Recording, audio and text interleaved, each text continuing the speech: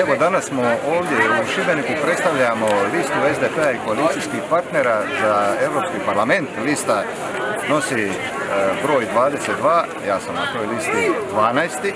Ali u Šibeniku ja se ne trebam posebno predstavljati, ali moja je zadaća predstaviti Šibenik.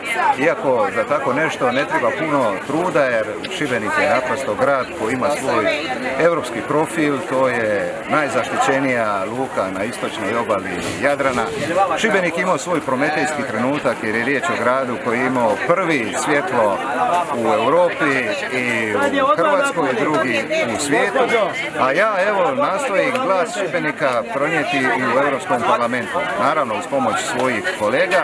Nadam se uspjehu kako bismo doista nakon 11 godina članstva Republike Hrvatske u Europskoj uniji iz Europske unije povlačili ne samo sredstva nego i vrijednosti jer ono što Europska unija u Hrvatskoj još nije to je prostor neovisnog pravosuđa, pune slobode medija i prava svih manjina. Nadam se da ćemo to uspjeti uz podršku građana.